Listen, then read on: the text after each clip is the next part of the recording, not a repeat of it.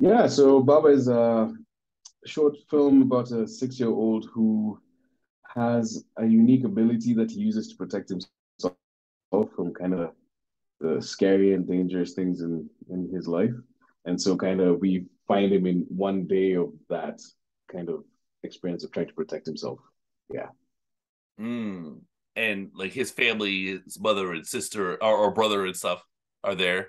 Yeah. So the the film uh, takes place like the day after Christmas. So the people we find in his home are his mother, his aunt, his cousin, who had all come over and stayed over for Christmas.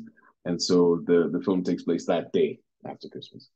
Yeah, and it's like, how long is it? It's maybe like twenty minutes. It's fifteen minutes. Fifteen. Yeah, fifteen minutes. Yeah. Okay, yeah. So one thing that I I noted was it's very beautiful to uh, to look at. The visuals are very strong. So tell me what you shot on, and tell people about your cinematographer. Yeah, so uh, I worked with a cinematographer from Sweden uh, called Robin Asselmeyer. And, you know, originally, even from uh, the script phase, I was very specific about the kind of images uh, that I wanted for the film. And so originally, even the plan was to shoot on uh, 16 mil because the film has a lot of nostalgic feelings for it because there's a lot of it that's coming from my own past and uh, past of a few people I know, close friends. So nostalgia was really going to be a rich part of it. Uh, but we weren't able to uh, go the film route, so we just ended up shooting it digitally uh, with Arri Mini um, and just some antique lenses. And the but the in terms of the pictures and the images, we had a very specific photographic feel. Mm. I wanted almost every shot to feel like you were flipping through an old family album, mm. and everything felt like it was picked out from a family album. So that was kind of the motivation behind the images. That's really interesting. So you started off it's like a visual catalog, and then you just uh plug it in in a shoot. Yeah. Nice. Exactly. Tell yeah. people about that process. Yeah, so uh, you know, um, we had quite a few discussions with the uh, cinematographer and the producer as well because you know all the departments had to come together to do this, right? You uh even the locations and everything. As I said, we're going for nostalgia, you know, like even the house, it doesn't scream old school, but that's not how modern Kenyan houses look now. That's a very specific reference to early 90s Kenya. But I did want to shout period piece. Mm. So there was just a lot of mood boarding and literally referencing old photo albums of my own and of different members of the crew and just picking up very specific because I believe the best way to do this is is not generic. Um, mm. I don't like doing things in a generic way. I like picking out very specific things, even though they're specific to one person. Mm-hmm. I feel like that's truer than a general generic idea of what the 90s might have looked like. Mm. Um, and so we went very specific with everything from the set design to the wardrobe to just even the way the characters uh, played out their performances.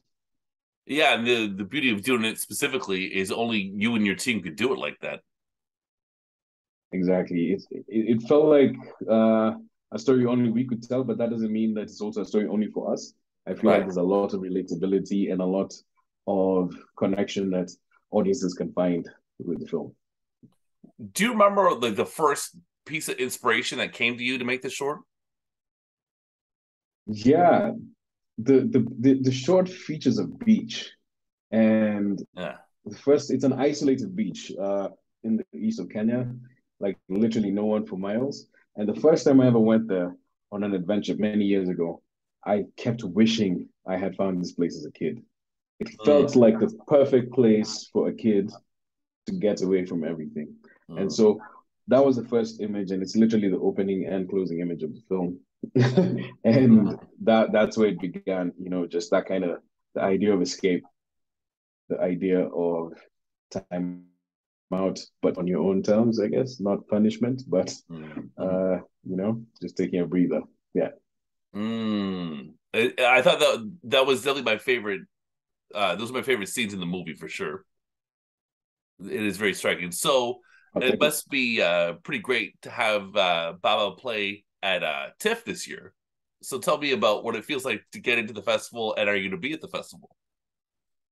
Yeah, so it's really fantastic to get uh, back into TIFF because uh, my first feature film actually played the six this year. Nice. Uh, in the Discovery section. So for TIFF to ask us back with this film just felt amazing. I will be there at the festival. Uh, you know, TIFF, I can honestly say was the launching pad for my film career because before that I've lived many other lives as a musician and other things. So mm. uh Katikati, the feature film was called Katikati was my first feature and the support and the reception at TIFF was ridiculous and amazing because for us it was an experiment to see if we can mm. tell stories. Not it wasn't like this big grand mm. idea of a project that we're gonna, you know, change the world with, but it's just mm. like let's just tell this small story. And then we ended up playing at TIFF, winning a prize at TIFF, and that kind of just kickstarted uh, my film career. So I'll always have a soft spot for TIFF. Very cool. And you're going to be there? Yes, I will be there for Very the nice. entire festival. I'm, I'm coming to see films even. Oh, cool! you're gonna be there for the yeah. for the full festival. Yeah, that's amazing. Last time, last time I didn't get to enjoy the whole festival because mm. also I was running around so much. But this one, yeah. I'm there for the shorts, but I'm also there for the festival. Oh, like, cool, man! It's really nice to mellow into a festival. You stay there for ten days, yeah. watch a bunch of films. It's a great time. Exactly. Exactly. Is there anything you're looking forward to in particular? Yeah, I actually I'm really excited to catch Sam Mendes' new film. Uh, yeah, uh, it's called what's it? I forget the name. Empire. The Empire, Empire of, Light. Light. Yeah, Empire of I Light. think that's it. Yeah, yeah. Uh, so uh, I'm excited to be able to catch that early because we get those kind of films here like eight months after. right. so yeah. This feels like a preview screening. Yeah. Oh hell yeah, man! That's great. That's fantastic. So, what are what are some movies? Let's say, let's say you're gonna play Baba before any feature film of your choice, or maybe mm. just a few. What are what's yeah. a good adjacent movie feature film for this uh, uh, for Baba to play before, or maybe even afterwards? I think just thematically and just uh yeah, thematically and emotionally, probably Beast of the Southern Wild. Ah, yeah, yeah. Would be a good would be a good option to pair it with. Maybe where the wild things are. Mm. Would be a good option to pair it with. And then on uh I guess a random side would be Little Miss Sunshine, probably. Oh, okay, cute, cute. Okay. very nice, very nice. So tell me about your cast. Yeah. So uh, we had an incredible cast, a small cast of four, um, and you know, the lead character who is Baba is Malik. Mm-hmm. He's six years old, and he's just he's one of the best actors I've worked with, just because he wasn't acting. This this character was within him, and he's one of those people who you stare at, and their eyes tell you a thousand stories mm. just through his eyes alone. He doesn't need to speak. He just carries so much weight. Even a single sigh feels like it has a thousand layers to it. Mm. So he was excellent. Uh, this is cousin Kevin, who was played by um, Kenyan called uh, Victor. And Victor is actually 18, though in the story he's playing a 16 year old. Mm. Um, but he, he's also a very young, promising talent in the Kenyan acting industry. Mm. Uh, he's been in a few short films, and I, I, believe he's now in a TV show that he's working on. Uh, but he's also one of those just really incredible talents who I lo- I love actors who embody who don't their first impulse isn't to verbalize the mm. emotion they're looking for. They're not trying to tell you how they're feeling, but the instantly they just emit it and carry it and carry these characters. And those two boys were like amazing to work with. And then the the mothers were played by veteran Kenyan actresses. So there's Faith Kibathi and Becky and shows they they played their mom and auntie, and they're also like they've been in the TV industry in Kenya especially for a while, but mm. this was out of character for them. Mm. So like Becky, for example, who's Kevin's mother, who is very strict and authoritarian in this particular short, uh, is usually cast as a more glamorous wife, socialist, socialite, not socialist, right, but right, socialite, and that kind of thing. So it was nice to give her a chance to play out of typecast. So yeah. Okay. And, and how long did it take you to shoot the projects? And tell me about the most rewarding day. Yeah, so because you know we were basically on a skeleton budget, just working mm. off our own money, so everything was tighter than it should have been. We mm. shot over three and a half days, which included traveling to the coast, mm. and I think the most rewarding was sh- shooting in the coast because basically we shot one night and one morning, uh, with like very little sleep in between. and it, as I said, the beach was very remote, and it just felt kind of special to be out there with the small crew and just kind of looking for magic, you know, mm. and waiting to see because it's also it was up to the sun to give us whatever it's going to give us. If, if it was going to rain, it was going to rain. You know, if it was going to it was going to be cloudy, it's going to be cloudy. Uh, so I really love such moments where you just kind of wait and see what will happen. Okay, great. So, what what do you think is your greatest strength as a director? Aha, that's a that's a good question. Uh, I don't think anyone has ever asked me that. Mm. nice. I think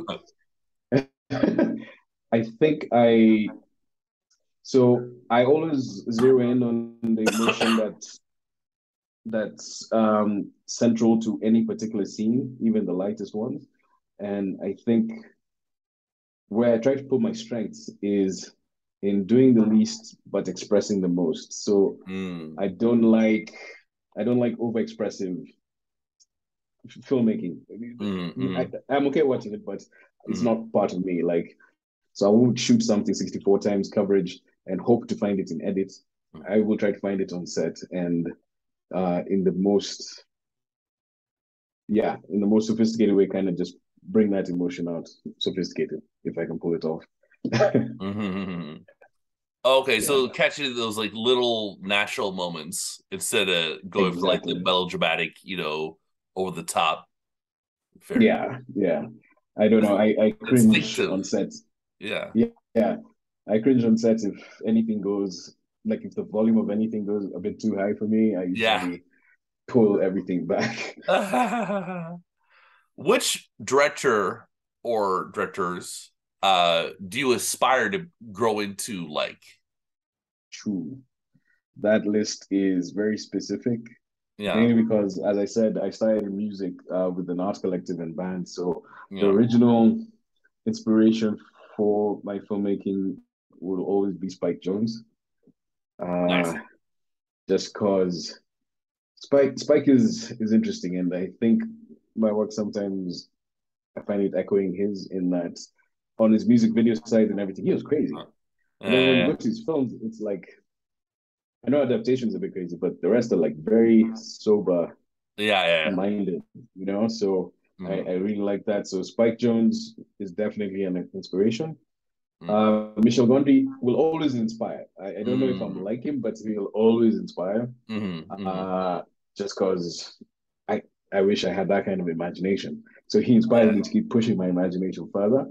And then lastly, on the film side, Sam Mendes, just because mm. not from the James Bond, like I really loved Sam Mendes, like from American Beauty, uh, mm. going into Road to Perdition, mm. and Jarhead. There was just something right. also how he was jumping genres, but being so he's that sophisticated filmmaker I'm talking about, the one where yeah.